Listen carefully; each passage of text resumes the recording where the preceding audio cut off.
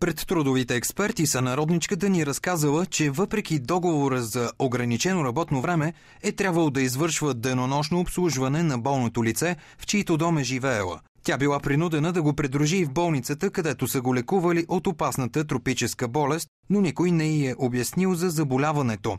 След като разбрала какъв е случаят, жената веднага си тръгнала. Правоотношението й е прекратено, без да се изплати дължимата заплата. След сигнали и у нас, и в Германия са били предприяти мерки за изплащане на дължимата заплата. Оказва се, че подобни случаи не са единични, а наши сънародници трудно доказват, че спрямо тях е приложена трудова експлоатация. В Германия също е много трудно доказуемо или контролируемо тяхната заетост и спазването на работното време, защото те работят в частни домове в семейства.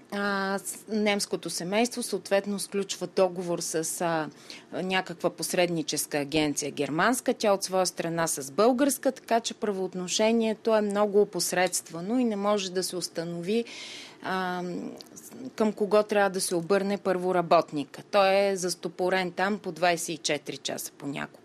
Не липсват и случаи на неизплатени възнаграждения на българи, работещи в строителството, добавят още трудовите експерти.